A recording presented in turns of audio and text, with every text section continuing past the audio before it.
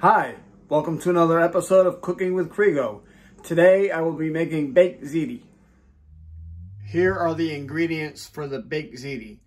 I will put the exact measurements in the description below, but we will be using ziti noodles, mozzarella, tomato paste, pesto sauce, crushed tomatoes, tomato sauce, ground hamburger, onion powder, garlic powder, minced garlic cloves, salt, pepper, an onion, two green bell peppers, and parsley flakes for a garnish. Okay, while I'm waiting for my water to boil, I'm going to prepare the peppers.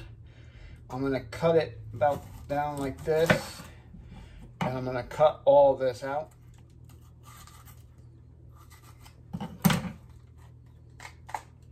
Cut my pepper down the middle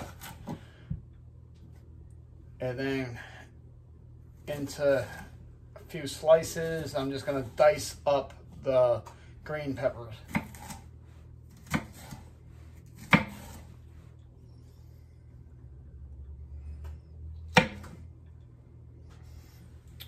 About that size or so. My, okay, my water started boiling, so I'm gonna put the ziti noodles in. put the whole pound in there. I'm gonna set my timer for about eight minutes. Normally you would cook pasta nine to 10 minutes, but a bit al dente because it's gonna cook more when it, as it bakes in the oven. And you're gonna stir your noodles occasionally.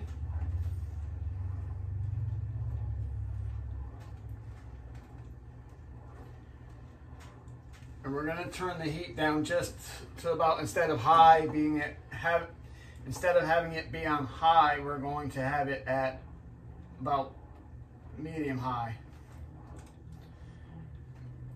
And here's a little trick. If you keep, if you have a wooden spoon and place it over the pot, the water will never boil over. Also, I never put oil in my water when I'm cooking pasta because if you put oil in the pasta, the sauce doesn't stick to the pasta as well. Okay, if you've seen my other videos, you know that when I'm cutting the onion, I like to put the onion in the freezer for about 10 minutes first because that cuts down on the crying. When I'm dicing an onion, I like to keep the root on because it makes it easier to dice the onion. So I start with I cut off the top and I'm just going to peel the skin.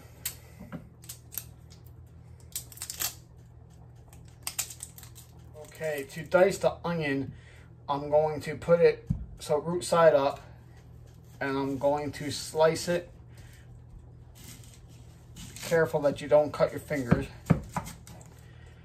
And just keep turning and cut about maybe an inch and just keep turning and keep slicing down about an inch or so.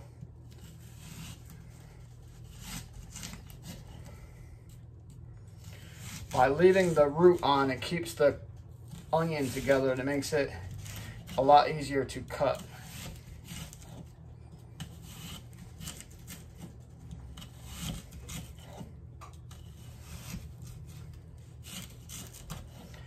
Okay, so then I'm going to turn the onion on the side and then you're just going to cut and then it's diced already.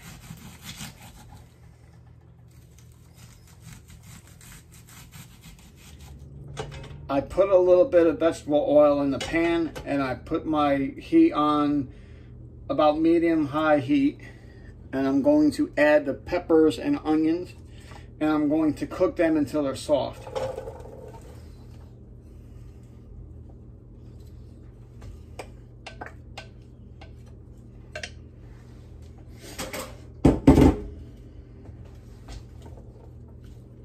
Be stirring them occasionally.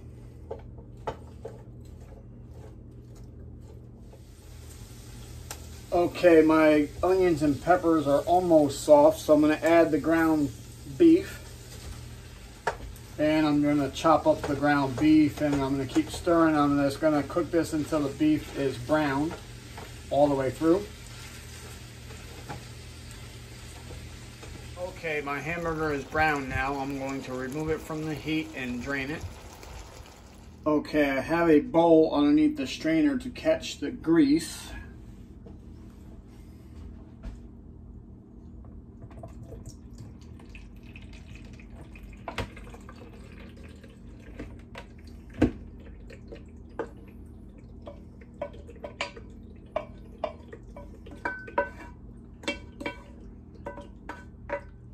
Okay, I'm gonna transfer everything into this bigger pot.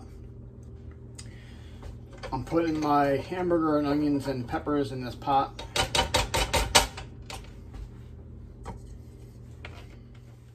I'm, I'm going to add my ziti noodles.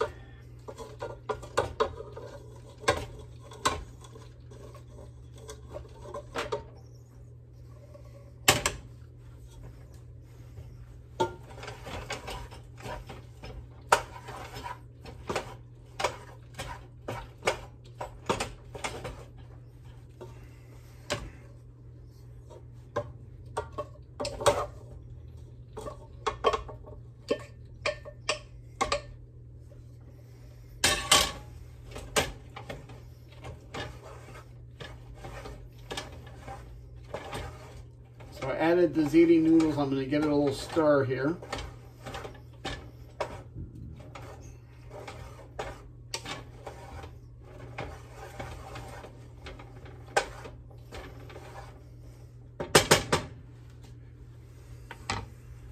And now I'm going to add my tomato paste. I'm going to put the whole can in there. I have a six ounce can of tomato paste.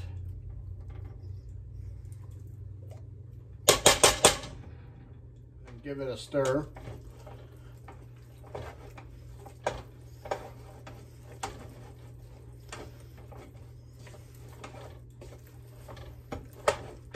now my tomato paste is mixed all in there. I'm going to add the entire can of crushed tomatoes.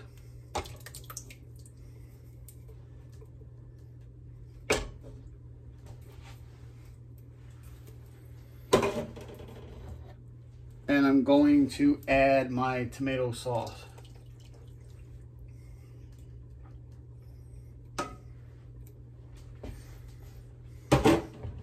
You give it a stir.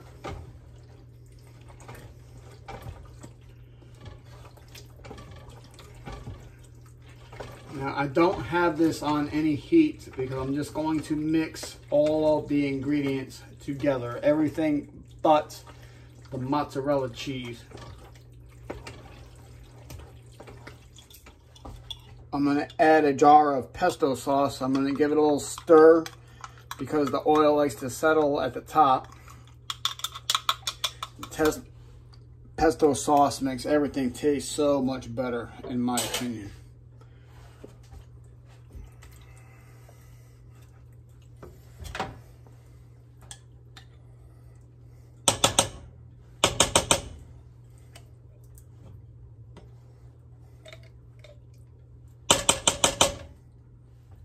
And we're gonna give it a stir.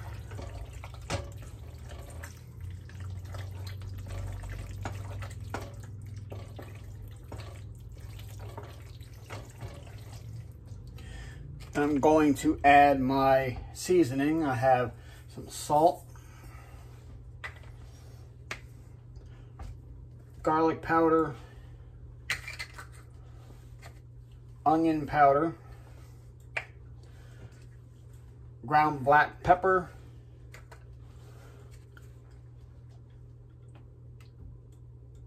some minced garlic,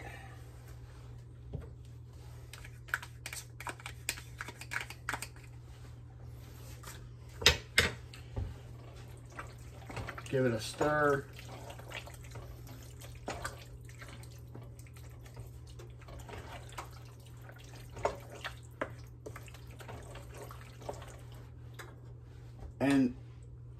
something that I forgot to put out with the beginning of the video with the ingredients was a half a cup of grated Parmesan cheese. Give that a stir.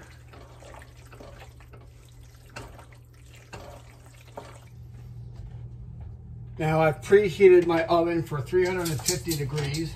I'm going to take my ziti mixture and pour it into a baking pan.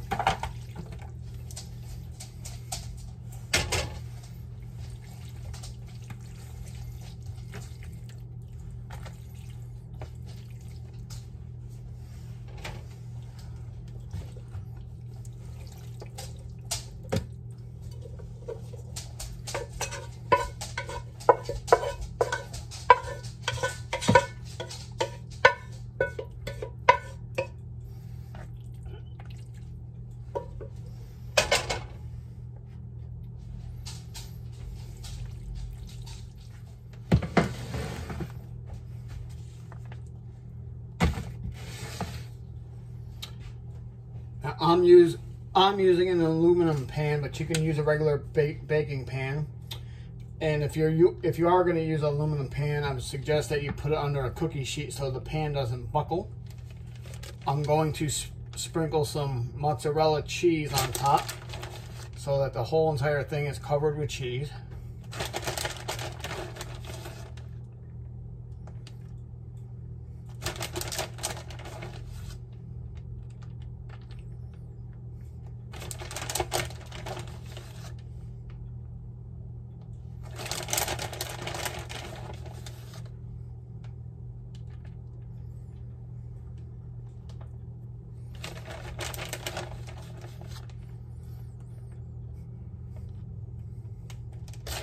Okay, I'm gonna put this in a 350 degree oven. And I'm going to bake this for a half hour. I will bake this for a half hour, but I will check on it after 20 minutes. What you wanna do is make sure the mozzarella cheese is melted and just slightly brown on top. Okay, I checked on the ziti at the 20 minute mark and it still wasn't um, melted quite yet. So I checked on it again at the half hour mark and it, and it was melted but not brown. So I put it in for another 10 minutes. So about 40 minutes total. And I'm gonna take and I'm gonna take it out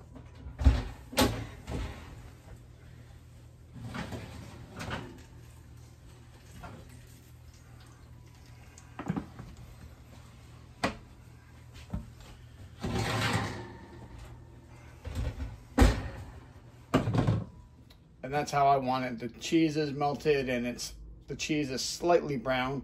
I'm just gonna sprinkle some dry parsley flakes for garnish.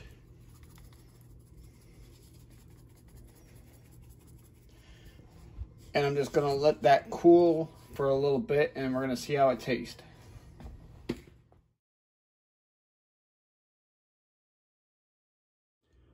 Let's see how it tastes, shall we? Mmm. It's so good. Okay, this concludes this episode of Cooking with Crego. Please like, share, and subscribe if you haven't already, and hit that notification button so you can be notified when the next video comes up. Thank you for watching.